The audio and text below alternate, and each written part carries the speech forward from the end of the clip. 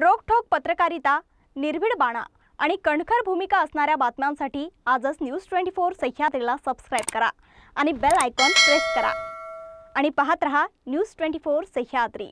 शहराची खबरबात या बातमीपत्राचे प्रायोजक आहेत Mac Care super speciality hospital Ahmednagar.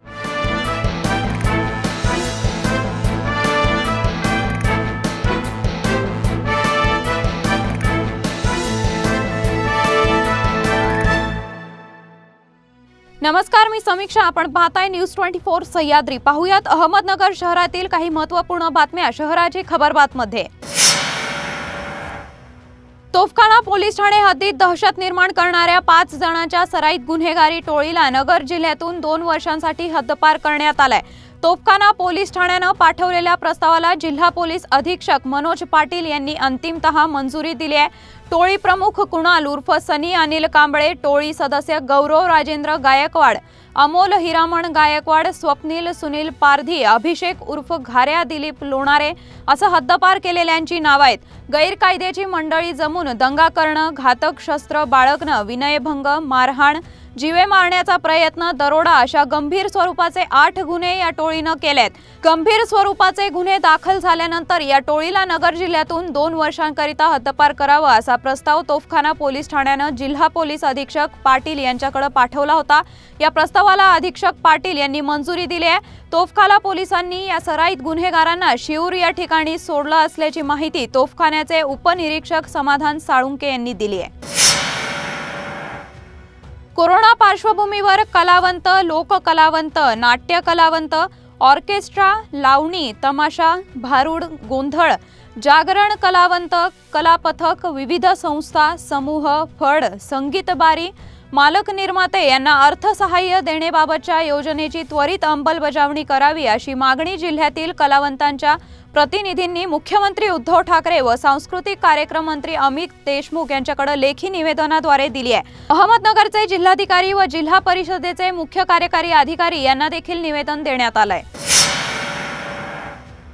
नगर शहरासह जिल्ह्यामध्ये सध्या लसीकरणाचा वेग मंदावलाय. लसीकरण वाढवण्यासाठी याआधी अनेक बैठका झाल्या आहेत. नियोजन झालं. मात्र त्याचं फलित काहीच झालं नाही अशी परिस्थिती आहे.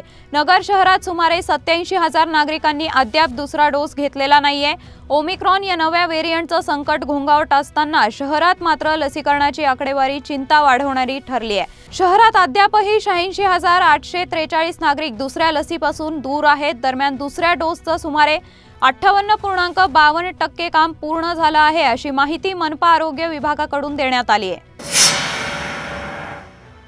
मनपाच्या मालमत्ता कराच्या वसुलीसाठी शास्ती माफी योजना जाहीर केल्यानंतर अनेक मोठ्या थकबाकीदारांनी कर भरण्याकडे पाठ फिरवली आहे त्यामुळे मनपा प्रशासनानं त्यांच्यावर कारवाईचा बडगा उगारलाय. खेडगाव बुरुडगाव प्रभाग कार्यालयाचे प्रभाग अधिकारी नानासाहेब गोसावी यांच्या मार्गदर्शनाखालील पथकानं एका मोबाईल कंपनीसह थकबाकीदारांना दणका देत त्यांच्या मालमत्ता सील केल्यात. ठेवींच्या मागणीसाठी संपदा नागरी सहकारी पतसंस्थेचे ठेवीदार सात डिसेंबर रोजी सकाळी साडे दहा वाजता जिल्हाधिकारी कार्यालयासमोर धरणे आंदोलन करणार आहेत. ठेवीदारांच्या वतीनं या संदर्भात जिल्हाधिकाऱ्यांना निवेदन देण्यात आलंय. निवेदनात म्हटलंय की पतसंस्थेचे माजी संचालकांच्या मालमत्तेची ग्राहक तक्रार निवारण मंचच्या आदेशानं तहसीलदारांनी एक कोटी पाच लाखांची लिलाव प्रक्रिया पूर्ण केली होती. माजी संचालक ज्ञानदेव वाफारे यांनी न्यायालयात दाखल केलेली याचिकाही फेटाळण्यात आली.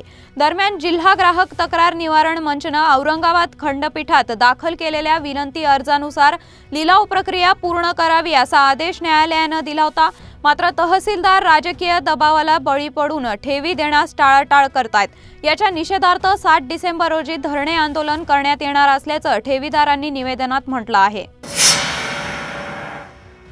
या बातम्यांसह शहराची खबरबातमध्ये आपण इथेच थांबतोय. तुम्ही पाहत राहा न्यूज ट्वेंटी फोर सह्याद्री. शहराची खबरबात या बातमीपत्राचे प्रायोजक होते. Mac Care super speciality hospital Ahmednagar. शब्दांचं सामर्थ्य विश्वसनीयतेची उंची न्यूज ट्वेंटी फोर सह्याद्री.